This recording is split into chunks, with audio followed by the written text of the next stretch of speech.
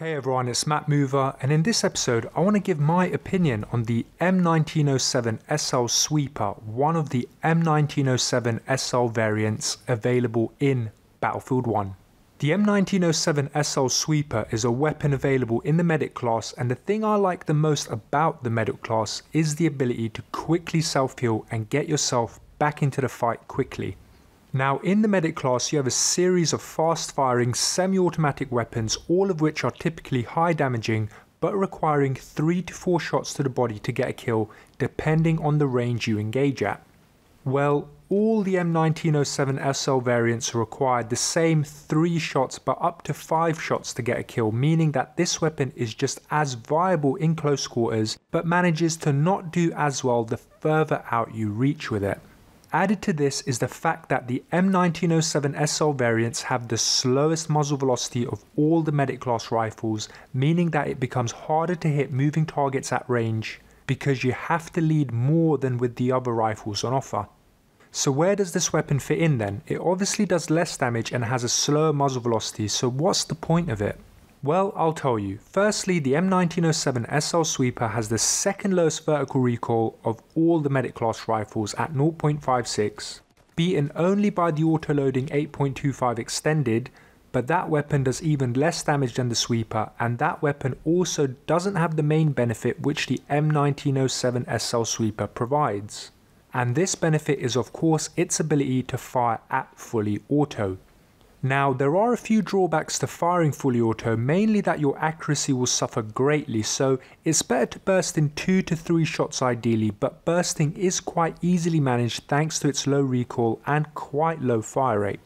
So when you're caught in a face-to-face -face engagement or have a number of enemies in very close proximity to you, you don't need to worry about spam tapping your trigger, you can simply hold onto the trigger and destroy your opponents, especially with the hip fire of this weapon, which really is fantastic for enemies that are around the 10 meter mark or closer.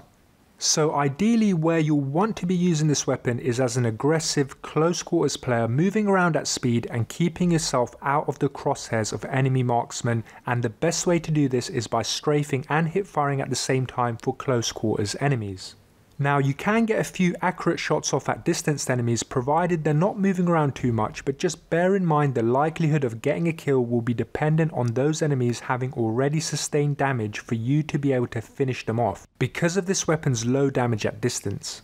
It's certainly worth trying to damage enemies to help your team but sometimes this could result in you missing a close range enemy or running out of the rounds you need to take advantage of this weapon's automatic capability if someone happens to rush up into you. Now, given that you'll want to be as light as possible for this setup, I'd recommend going without the bayonet. Now, there are no specific statistics yet on the bayonet's penalties, however, one thing I can be certain of is that your character's movement speed improves without it, and so if you're going to be strafing around and destroying close range targets, you'll want to be as fast as possible while doing so. The bayonet is a fantastic attachment to use but usually results in you getting killed shortly after going in for a charge so it really isn't the most tactical option anyway unless you feel you need to use it for that extra sprint boost when getting into and out of cover.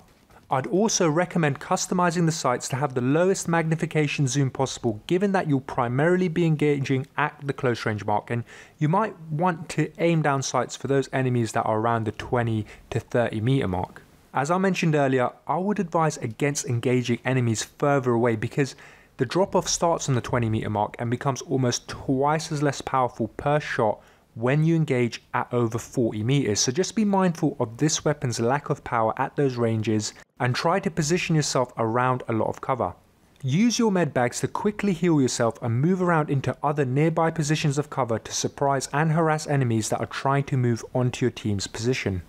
Finally, I strongly recommend this weapon due to its fully auto capability and the fact that it falls into the medic class with the ability to quickly self heal makes this setup a personal favourite. Just be careful about not overreaching with this weapon.